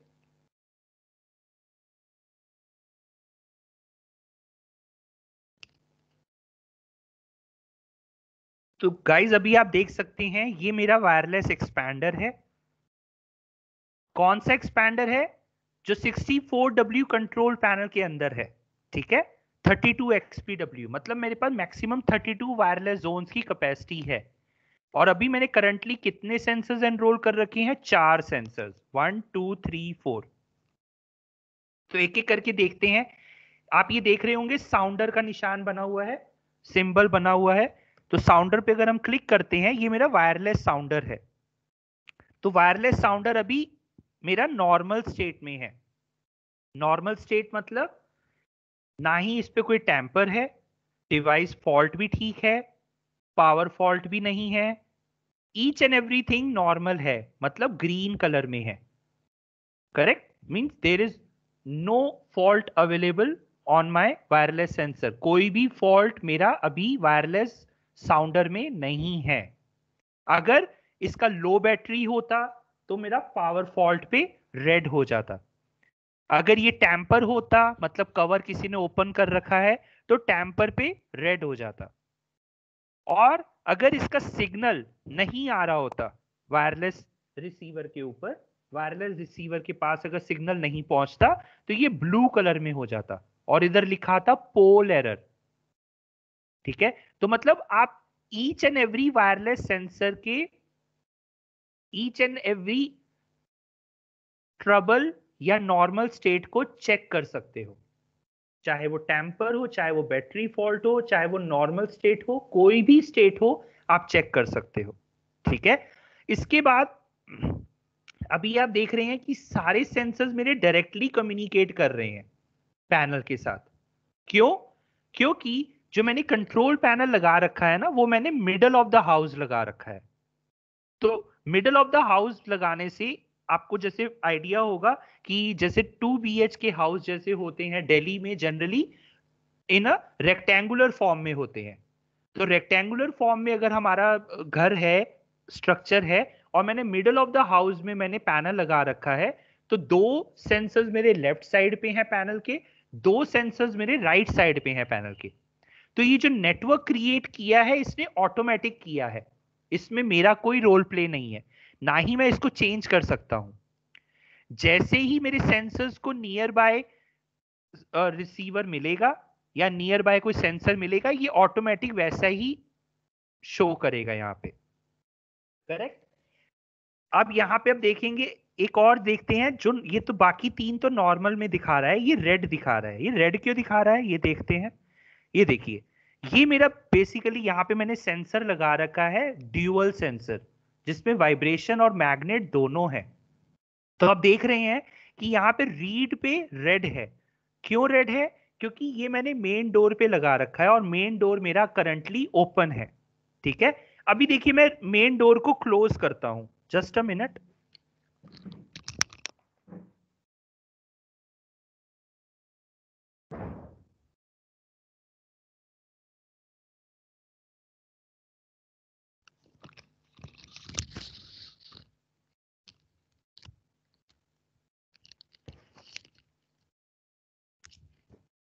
sorry guys फिर से किसी ने ओपन कर दिया। एक्चुअली बहुत ज़्यादा यहाँ पे ये मेन डोर यूज़ होता है, इसलिए तो क्या होता है कि जैसे ही आप डोर को क्लोज करेंगे, आपका डोर यहाँ पे रीड भी ग्रीन कलर का हो जाएगा। तो इन शॉर्ट कहने का मतलब यहाँ पे ये है कि आप ईच एंड एवरी सेंसर्स का यहाँ पे डायग्नोस्टिक्स कर सकते हैं ट्रबल शूटिंग कर सकते हैं। करेक्ट अब एक और चीज़ हम देखते हैं यहाँ पे जब हम पैनल को सॉरी रिसीवर को कमीशन मोड पे डालते हैं।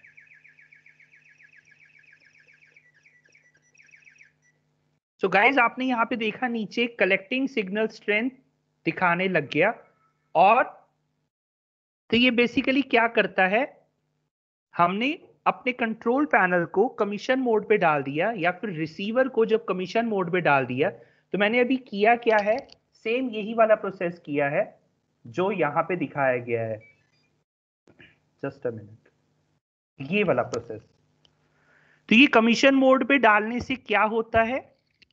आपको अब थोड़ा सा यहाँ पे दिखाते हैं जस्ट मिनट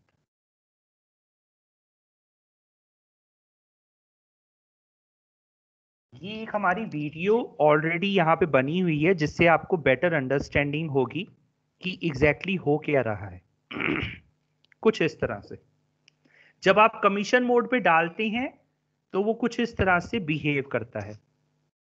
तो कमीशन मोड पे डालने के बाद अगले पंद्रह मिनट तक ये नेटवर्क क्रिएट करता है और 15 मिनट के बाद ये नेटवर्क इस तरह से बना के दिखा देता है। तो यहाँ पे आप देख रहे हैं मेरे टोटल 32 वायरलेस सेंसर्स दिख रहे हैं और तीन टाइप के कलर्स दिख रहे हैं। Number one is green then yellow then red green का मतलब क्या है? जो सिग्नल स्ट्रेंथ है इस पर्टिकुलर सेंसर की, वो बहुत बढ़िया है। Means signal strength from the sensor to the receiver is considered as very good. Yellow मतलब मीडियम रेंज है और रेड मतलब कि उसका सिग्नल स्ट्रेंथ बहुत लो है। करेक्ट अब मैं अपना कर्सर किसी एक सेंसर पे लेके जाता हूँ। ये देखिए, आप यहाँ पे देख रहे हैं ब्लैक डॉटेड लाइंस किसी भी सेंसर पे अगर मैं लेके जाऊँ तो ये ब्लैक डॉटेड लाइंस दिखा रहा है। अब ये ब्लैक डॉटेड लाइंस का क्या मतलब होता है?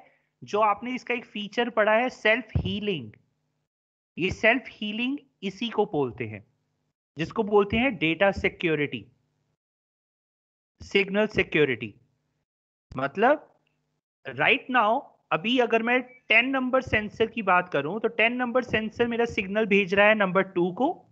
नंबर टू सेंड कर रहा है ट्वेंटी फोर को और ट्वेंटी फोर सेंड कर रहा है रिसीवर को।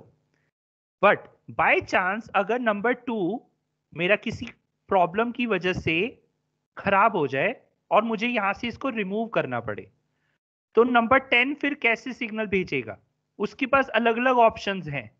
एक तो एक नंबर वन अगर आप देख रहे हैं डॉटेड लाइन नंबर वन पे भी जा रहा है नंबर एट पे भी जा रहा है तो मतलब जो टेन नंबर सेंसर है, उसके पास इतने ऑप्शंस हैं सिग्नल सेंड करने की। ठीक है? बेस्ट पॉसिबल पाथ तो अभी ये चूज़ कर ही रहा है, जो ये सेंड कर रहा है, टेन से टू टू से ट्वेंटी फोर ट्वेंटी फोर से एक्सपैंडर। बट अगर बीच में इसका पाथ खराब भी हो जाए, कुछ प्रॉब्लम भी आ जाए, स्टिल टेन जो है नंबर सेंसर, वो सिग्नल सेंड कर सकता है नियर बाय डिफरेंट सेंसर से। ठीक है? So each and every sensors आप देख रहे हैं, अपनी मेमोरी में सेव करके रखता है डिफरेंट पाथ डिफरेंट पाथ वो अपने सेव करके रखता है। अगर कोई प्रॉब्लम आ जाए तो वो उस डिफरेंट पाथ से सिग्नल सेंड कर सकता है। ठीक है? This is called Ricochet monitor इसी को ही रिकोशे मॉनिटर कहा जाता है। और अगर एक और चीज़ मैं इसमें हाईलाइट करना चाहता हूँ, अगर मैं यहाँ पे आपको एक सेंसर का सिग्नल स्ट्रेंथ दिखाऊँ तो देखिए यहाँ पे दिखा रहा है four two fifteen is very good signal strength देखिए, इसके bars is consider as very good then 15 से एक्सपैंडर पे जा रहा है, वो थोड़ा सा लो है। तो यहाँ पे ये प्रॉपर सिग्नल स्ट्रेंथ कैसे फ्लो हो रहा है किस पाथ से किस पाथ तक कितना उसका स्ट्रेंथ है, वो भी यहाँ पे शो करता है। ठीक है? Okay moving to the presentation just a minute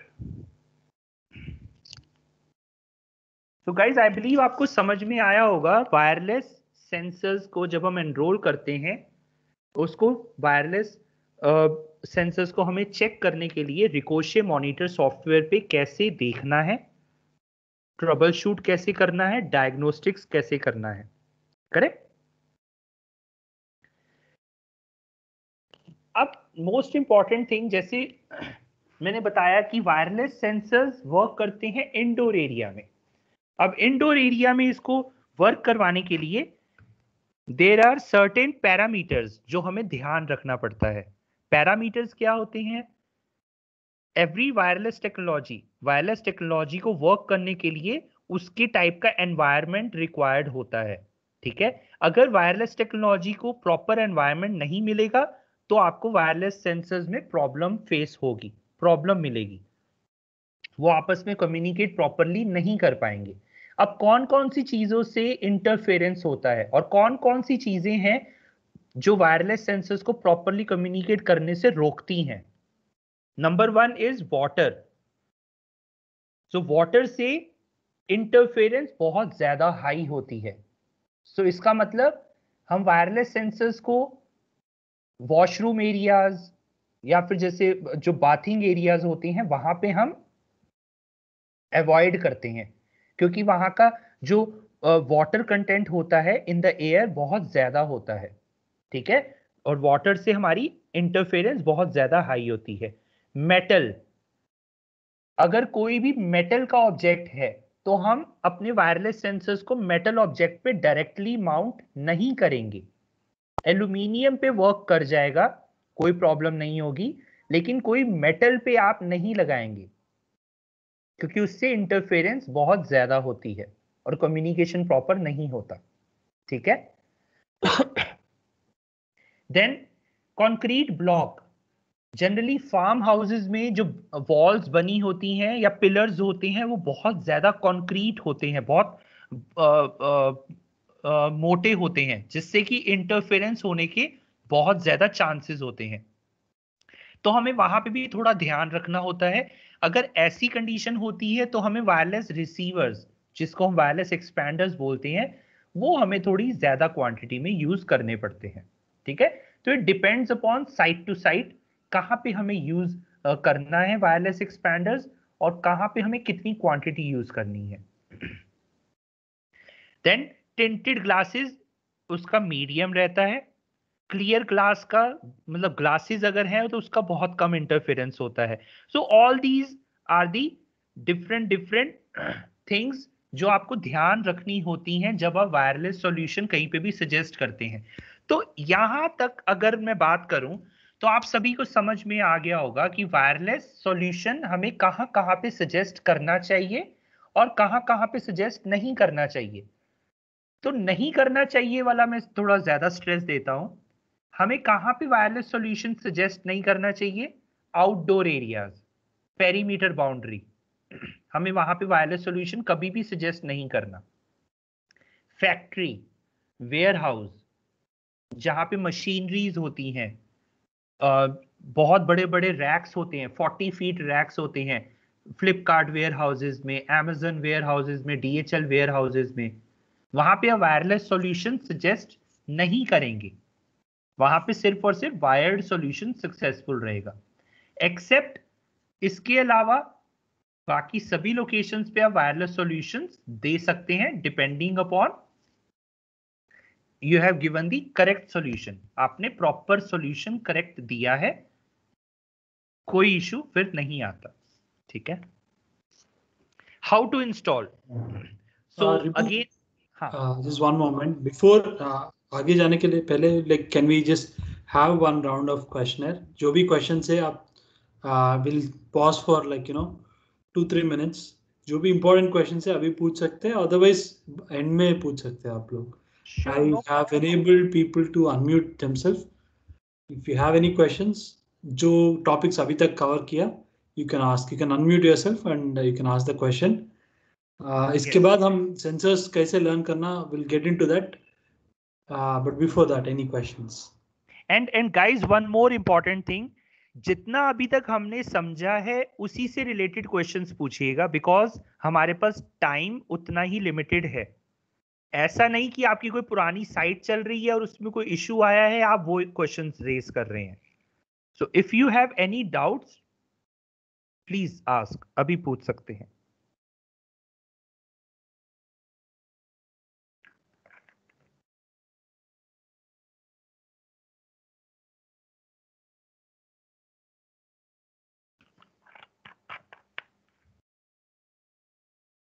Uh, I saw someone raise their hand. Chetan और समवन आप अनम्यूट करके क्वेश्चन पूछ सकते हैं अभी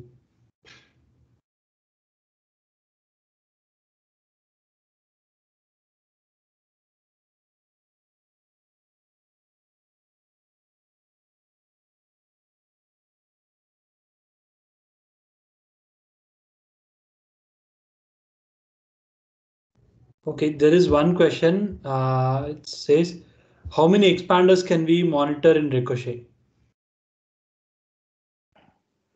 So, how many expanders you can monitor in Ricochet? मतलब हम Ricochet में कितने expanders monitor कर सकते हैं जितने भी आपने लगाए हैं फॉर एग्ज़ाम्पल अगर आपने एक पैनल में 10 एक्सपैंडर्स लगाए हैं वायरलेस एक्सपैंडर्स 10 लगाए हैं तो आप 10 के 10 आप मॉनिटर कर सकते हैं वन बाय वन क्या होता है जब आप वायरलेस रिकोशे मॉनिटर ओपन करते हैं?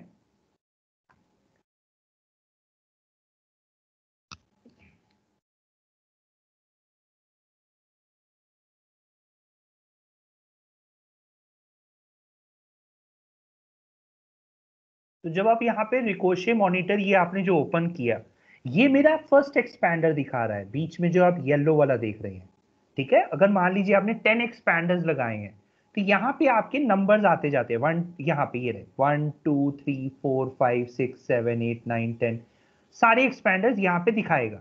तो आप उस पर क्लिक करेंगे। वन पे तो वन का दिखाएगा। जब टू पे क्लिक करेंगे तो टू का दिखाएगा। थ्री पे करेंगे तो थ्री का दिखाएगा। एट ए टाइम एक स्क्रीन पे एक एक्सपैंडर दिखेगा। ऐसा नहीं हो सकता एक ही स्क्रीन पे मैं दस एक्सपैंडर्स को एक साथ देख लू। That is not possible one by one one expander लेकिन सभी एक्सपैंडर्स देख सकते हैं जितने मेरे सिस्टम पे कनेक्टेड है वन बाय वन ठीक है?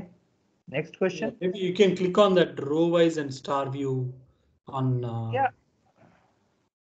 Yes. नहीं but this is basically for the sensors part ना गॉट इट गॉट हाँ एक्सपैंडर्स आपको वन बाय वन ही दिखेंगे। ठीक है? वो नेटवर्क व्यू यहाँ पे दिखाता है। One two three four five six जितने एक्सपैंडर्स होंगे। आप क्लिक करिए। उसी पे आपको शो करेगा। Okay there is other question from Umesh he is asking is the battery consumption of sensors does it vary when it is hopping and without hopping देखिए battery consumption और uh, जो hopping वाला process है it is already in build in the sensor उसमें हम interference नहीं कर सकते। ठीक है? अगर हम चाहें कि हम नेटवर्क को अपने हिसाब से एडजस्ट कर लें मेश नेटवर्क हम अपने अकॉर्डिंग बना लें कि फ़र्स्ट सेंसर सेकंड को हॉप करे सेकंड वाला थर्ड को करे थर्ड वाला रिसीवर को करे। ये हम नहीं कर सकते। अगर ऑटोमेटिकली फ़र्स्ट वाला डायरेक्टली कम्युनिकेट कर रहा है रिसीवर के साथ तो वो वैसे ही करेगा। हम क्या कर सकते हैं? हम रिसीवर का लोकेशन थोड़ा चेंज कर सकते हैं, जिससे नेटवर्क दोबारा से वो अपना क्रिएट करेगा, जब हम लोकेशन चेंज करेंगे और अपने अकॉर्डिंग मैश नेटवर्क बनाएगा number one number two battery consumption वो उसके अकॉर्डिंग ही करता है। अगर नियर बाय उसको सेंसर मिलेगा तो नियर बाय को सेंड करेगा। अगर नियर बाय उसको सेंसर नहीं मिलेगा तो जितना भी उसका डिस्टेंस कैपेबिलिटी है, उस पर्टिकुलर वायरलेस सेंसर की ट्रांसमिट करने की सिग्नल को वो वहाँ तक ट्रांसमिट करने की कोशिश करेगा। अगर उसको मिल गया, ठीक है, नहीं मिलेगा तो वो आपको पोल एरर दे देगा। ठीक है? सो इट ऑल डिपेंड्स कि आपने location of your expander and the location of your sensors कैसे बनाया है। कैसे स्ट्रक्चर वहाँ का आपने बनाया है। उसके अकॉर्डिंग ही वो कंजम्पशन करता है। तभी हम बोलते हैं इन केस ऑफ़ वायरलेस अगर आपको फिर भी डाउट है हमारी टेक्सीकॉम की कंप्लीट टीम अवेलेबल है। नॉर्थ में भी अवेलेबल है वेस्ट में भी है साउथ में भी है। टेक्निकल पर्सन की बात कर रहा हूँ। तो आप कंसल्ट करिए आराम से सॉल्यूशन डिज़ाइन करिए। जल्दबाजी में वायरलेस सॉल्यूशन कभी भी डिज़ाइन नहीं करेंगे। ठीक है? Yes. uh, there's one final question before we move back to presentation. Uh, so uh, yeah he's asking panel limitation for ricochet monitor is is no limitation sir जो भी panel use करते हैं, इसके साथ वायरलेस एक्सपैंडर्स है। आप Ricochet monitor use कर सकते हैं। Just to follow up on Umesh question about battery life getting short short and because of hopping sir इसके वजह से बहुत वेरी लिमिटेड इम्पैक्ट होता है। One thing is we can't control कैसे हॉप करेगा बट इसके बैटरी के ऊपर इसका effect is very minimal because hopping it's just like another pole that's all ज़्यादा नहीं कम सर देखिए वो तो इसका टेक्नोलॉजी है। हॉपिंग करना तो टेक्नोलॉजी है और हॉपिंग की वजह से ही वो बैटरी कम कंज्यूम करता है ठीक है? बट डोंट गेट कंफ्यूज कि अगर वो हॉप नहीं करेगा तो बैटरी ज़्यादा कंज्यूम करेगा। No it's not like that अगर वो हॉप करके डायरेक्टली सेंड कर रहा है रिसीवर को signal that is also fine मेरा मतलब टर्मोलॉजी समझाने का बस यही वे था कि लो बैटरी कंजम्पशन वो कैसे यूज़ होता है। अगर कोई पूछे कि लो बैटरी कैसे होता है सर? कि वो बैटरी कम कम कंज्यूम करता है because of the hopping process ठीक है? ओके आई थिंक या we running short can go back to the presentation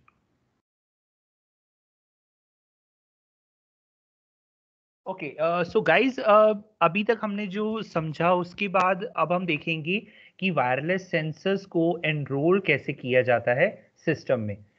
So first of all wireless sensors zones पे एनरोल होते हैं। सेकेंड थिंग हम जैसे वायर्ड सॉल्यूशन में भी समझ चुके हैं कि जोन्स में एनरोल करने के बाद हमें वहाँ जोन्स की प्रोग्रामिंग करनी पड़ती है। तो जोन्स में क्या क्या प्रोग्राम करना पड़ता है? जोन टाइप जोन टाइप क्या होता है?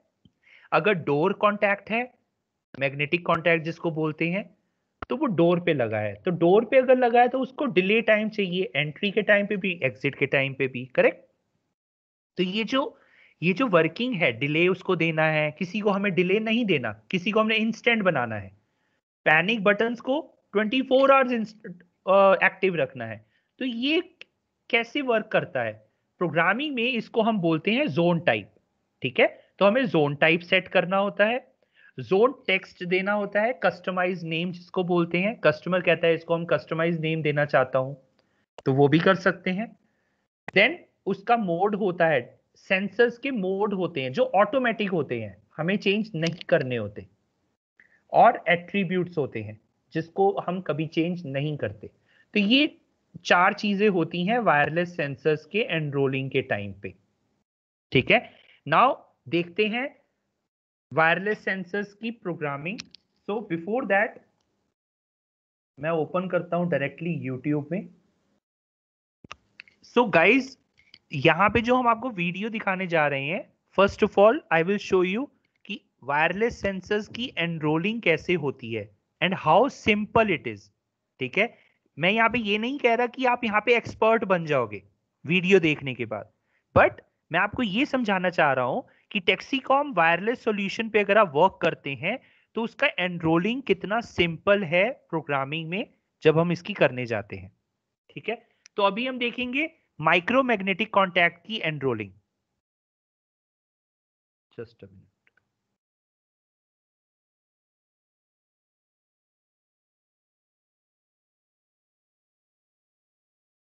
Uh, Ribu, you need not worry about uh, sharing the computer audio. just go and play the video and uh, use your own use your voice to explain what's happening.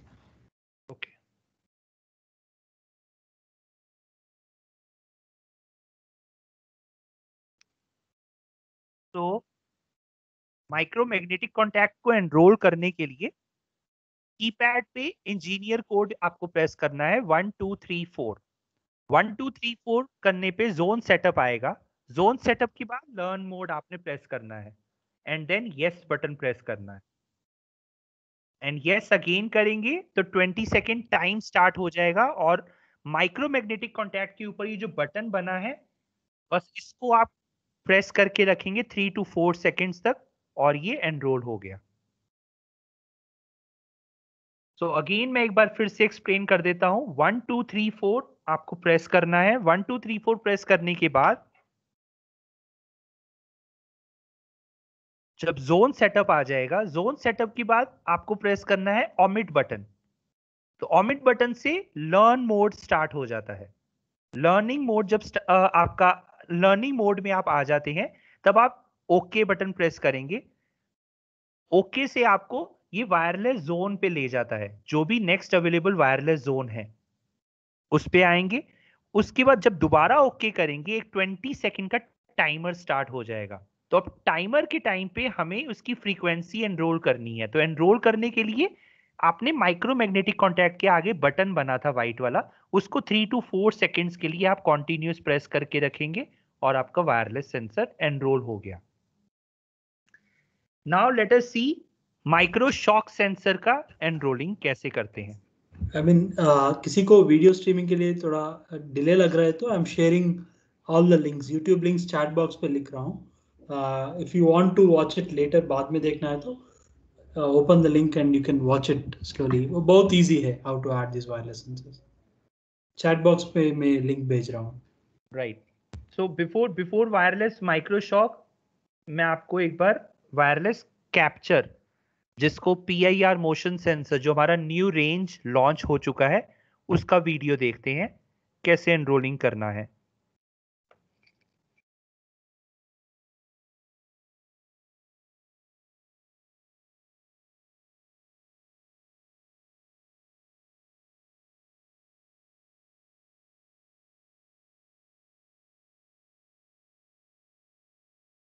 तो first आपको यहाँ पे दिखाया जा रहा है कि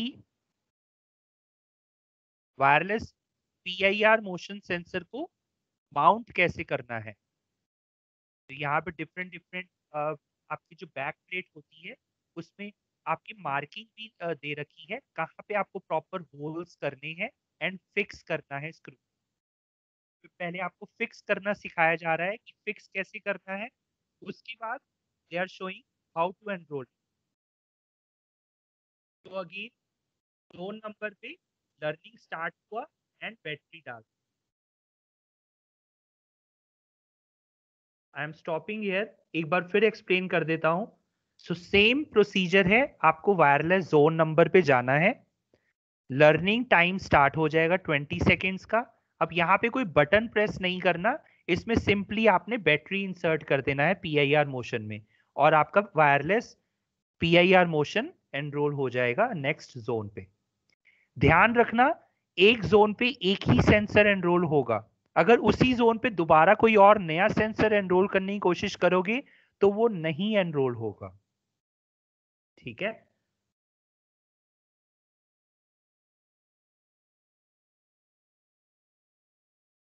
तो पी आई यहाँ पे देख रहे हैं, वो एनरोल इसके बाद ये डिफरेंट मोड्स है। मेन मैं आपको जो दिखाना चाह रहा था, वो एनरोलिंग प्रोसेस था। Just a minute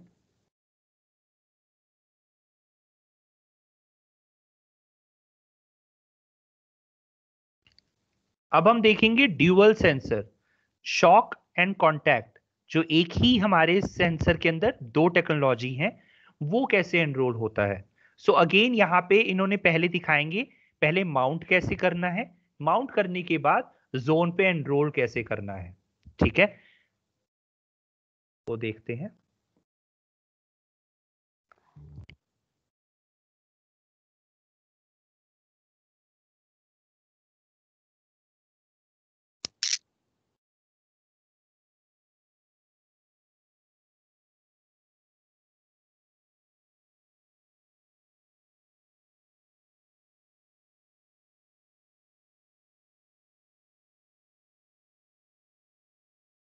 front cover आप ओपन करेंगे स्क्रू ओपन करेंगे, जो अंदर का पीसीबी है, वो भी आप निकालेंगे और पहले बैक प्लेट को माउंट करेंगे। ठीक है स्क्रू लगाने के उन्होंने पॉइंट्स भी बता रखे हैं, कहाँ पे स्क्रू लगाना है।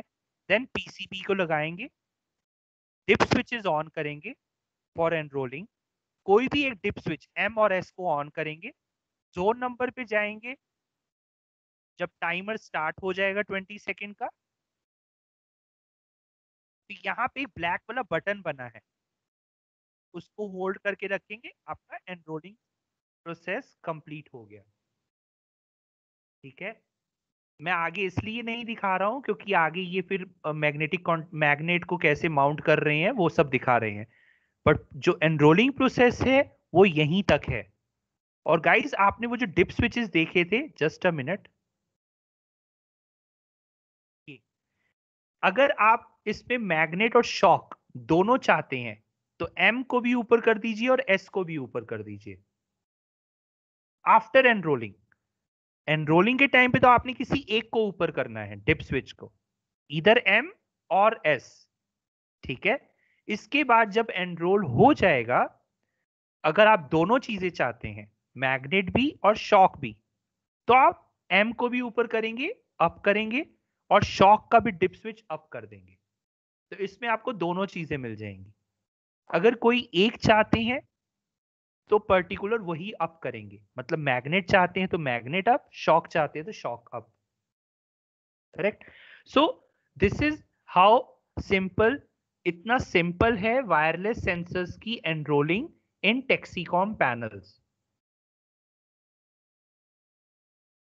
अब हम देखेंगे वायरलेस की फॉब की प्रोग्रामिंग कैसे होती है?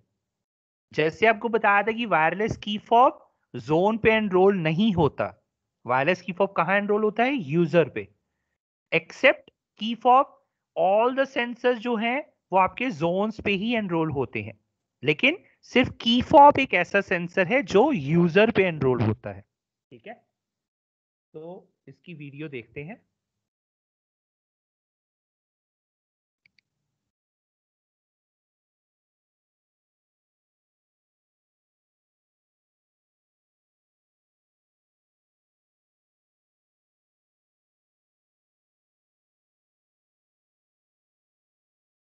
सो so, हम इसे मास्टर यूज़र कोड पे प्रोग्राम करने जा रहे हैं। ठीक है? तो ये यूज़र नंबर पे जा रहा है। मास्टर यूज़र प्रोग्राम्ड होता है ज़ीरो वन पे।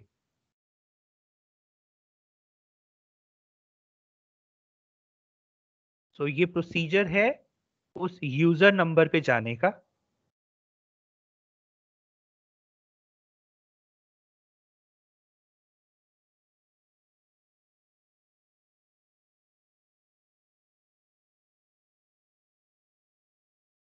सो ज़ीरो ज़ीरो वन अभी इन्होंने ज़ीरो ज़ीरो टू पे कर रहे हैं, लेकिन हम इसे कहीं पे भी कर सकते हैं। ज़ीरो ज़ीरो वन या zero zero two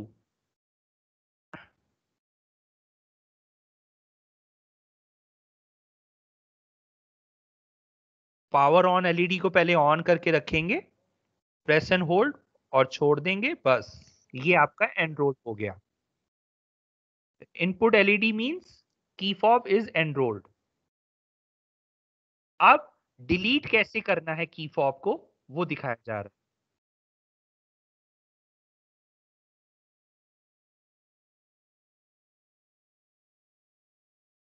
free so free means कि वो स्मार्ट की वहाँ से डिलीट कर दी है। ठीक है? सो सिंपल प्रोसीजर था। जिस भी यूज़र पे आपको एनरोल करना है, आप उस यूज़र पे जाएँगे। उस यूज़र पे जाने के बाद जो प्रोसेस दिखाया गया था, वो फॉलो करेंगे। और स्मार्ट की को जब 20 सेकंड का टाइमर स्टार्ट हो जाएगा तो स्मार्ट की को सिर्फ़ पावर ऑन करना है। थ्री टू फोर सेकेंड तक पावर ऑन का बटन प्रेस करके आपका इनपुट एलईडी जब आ जाएगा तो वो एनरोल हो जाएगा। और जब फ्री करना है फ्री का मतलब डिलीट करना, वो भी प्रोसीजर यहाँ पे दिखाया गया है।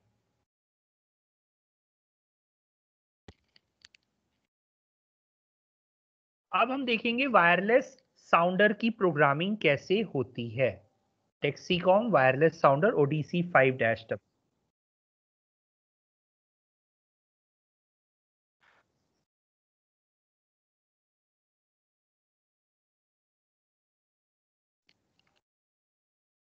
just.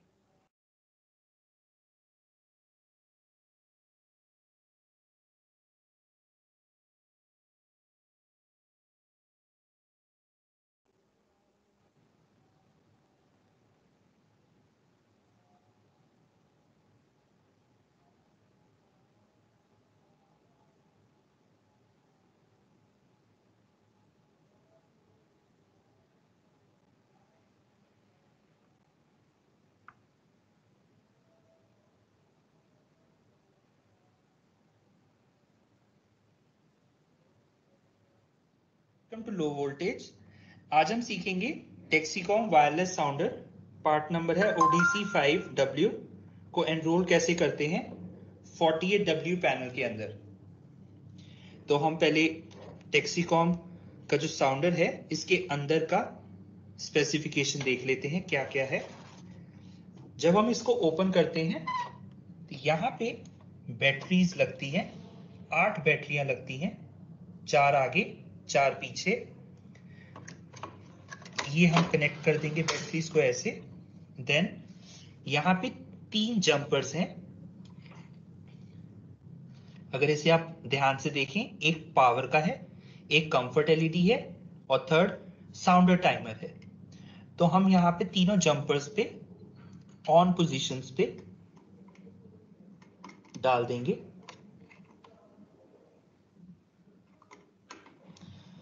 जो पावर ऑन और ऑफ़ का जंपर है, उसको अभी हम अपने हैंड में रख लेंगे।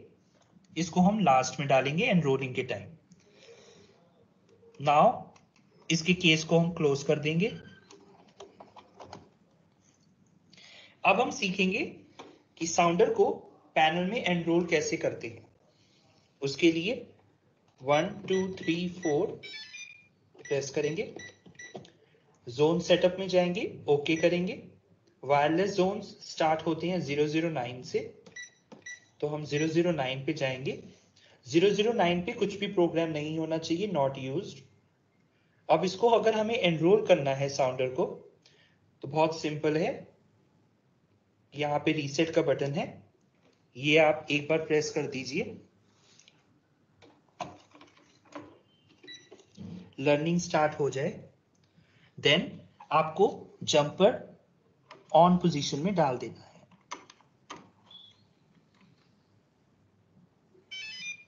अब आप देख सकते हैं कि पैनल पे साउंडर अपने आप एनरोल हो गया है। अब आप इसको ओके प्रेस करेंगे तो यहाँ पे कस्टम लिखा आता है और यही इसका जोन टाइप नेम होता है। इसके बाद अब आप बाहर आ जाइए टोटली नाउ अब आपको सबसे इंपॉर्टेंट काम क्या करना है? पहले आप इसका कवर क्लोज करेंगे। कवर क्लोज करने के बाद ये इसका टेम्पर बटन है। टैंपर को आपने अपने हैंड से प्रेस करके रखना है फॉर एटलीस्ट दो मिनट के लिए। और अब आप देख सकते हैं कि अब ये दो एलईडीज फास्ट फ्लैश हो रही हैं ऑल्टरनेटिवली ये दो मिनट तक फ्लैश होती रहेंगी। दो मिनट के बाद जब ये एलईडीज बंद होंगी और जैसे ही मैं टेम्पर का बटन छोड़ूँगा तो साउंडर बजने लग जाएगा। तो जस्ट अ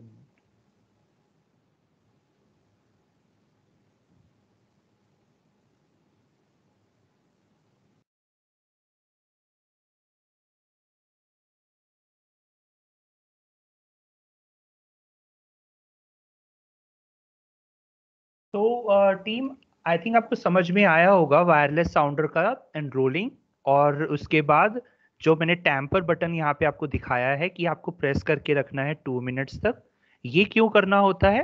क्योंकि जब हम एनरोल करते हैं तो मेरा साउंडर इंजीनियर मोड में चला जाता है। इंजीनियर मोड से बाहर लाने के लिए हमें इसे प्रेस करके रखना पड़ता है टैम्पर बटन को टू मिनट्स तक, उसके बाद ये मेरा एक्टिवेशन मोड में आ जाता है। ठीक है, ये पूरा प्रोसीजर है वायरलेस साउंडर एनरोलिंग का सिंपल इसके बाद वायरलेस की कीपैड को कैसे एनरोल करना है? आइए इसकी वीडियो भी देख लेते हैं। तो अगेन ये भी एक जोन नंबर पे एनरोल होगा और जोन नंबर पे एनरोल होने के बाद पहले हम इसका वीडियो देख लेते हैं एनरोल हो कैसे रहा है। तो इसको हमने डिप स्विच नंबर टू पे रखना है। मतलब एड्रेस नंबर टू पे हमने इसे प्रोग्राम किया है। ठीक है? तो अंदर इसके डिप स्विच होता है। डिप स्विच को ऑन करना है। उसके बाद पर्टिकुलर जोन नंबर पे जाना है। जो भी अवेलेबल नेक्स्ट वायरलेस जोन है। और लर्निंग मोड स्टार्ट करना है। लर्निंग मोड स्टार्ट करते ही कीपैड पे जो बैटरी लगी होती है वहाँ पे प्लास्टिक कवर लगा होता है। उस प्लास्टिक कवर को हटाएँगे और वो एनरोल हो जाए। Do you want to enroll and yes का बटन आप प्रेस करेंगे यस हो जाएगा। सो so, प्रोसीजर बहुत सिंपल होता है वायरलेस सेंसर्स का जब हम एनरोल करने जाते हैं ठीक है? ईच एंड एवरी वीडियो आपको शेयर की जाएगी और इसके साथ साथ टेक्सीकॉम प्रो एक ऐप आती है, जिसको आप डाउनलोड कर सकते हैं, जो कि इंस्टॉलर ऐप है। और उस ऐप से आप वीडियोस और मैनुअल्स देख सकते हैं। ये सारी वीडियोस उसमें अपलोडेड है।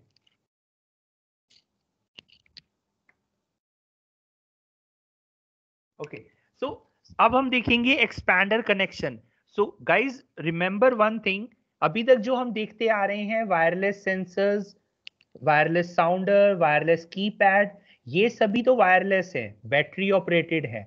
इसमें हमें वायरिंग की ज़रूरत नहीं पड़ती।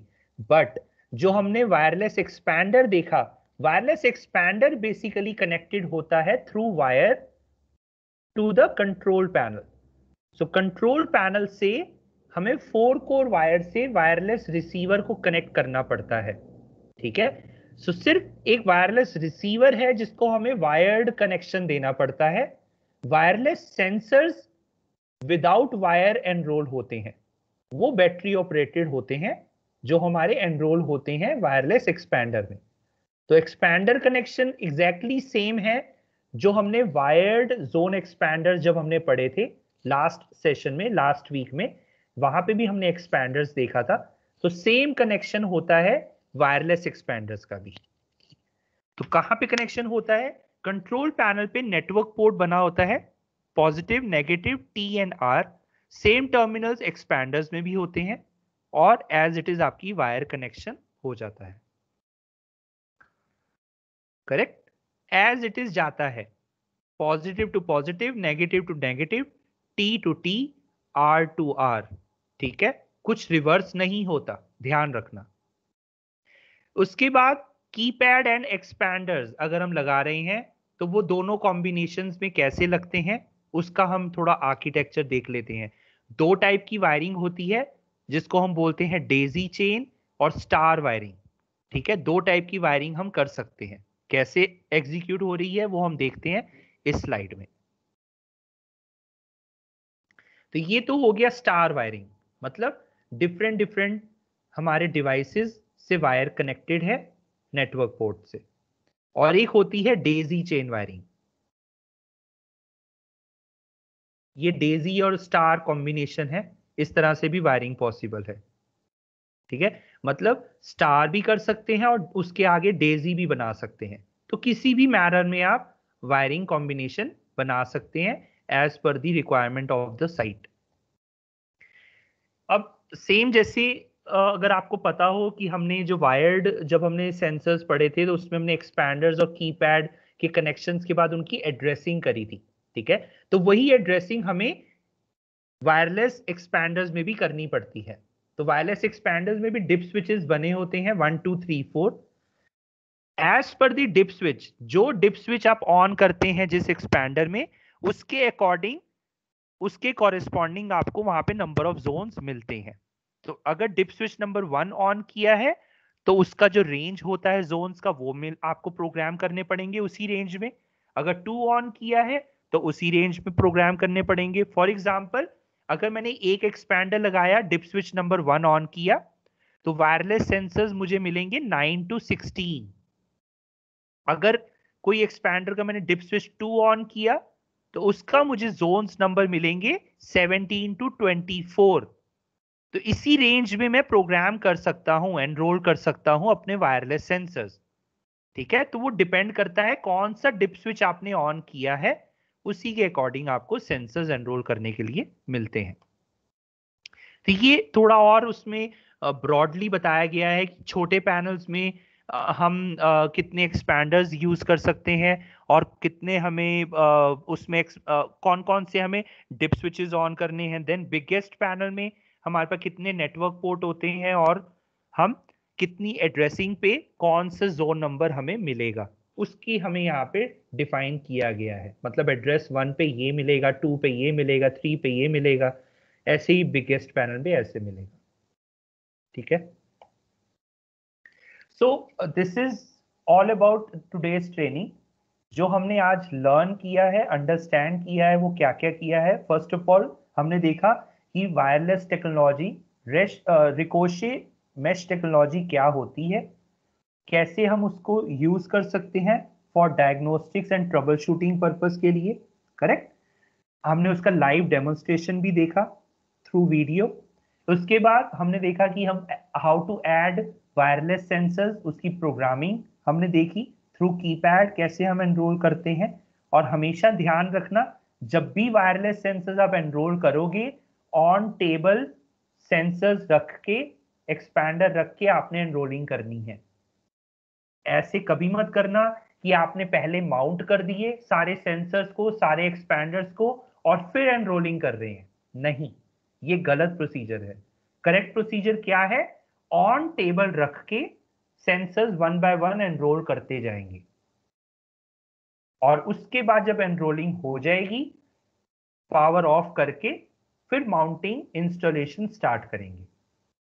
करेक्ट उसके बाद हमने each and everything sounders connections sounder enrolling key fob enrolling how to delete key fob और उसके बाद देखा हमने एक्सपैंडर्स एंड कीपैड की एड्रेसिंग एंड कनेक्शंस कैसे होते हैं।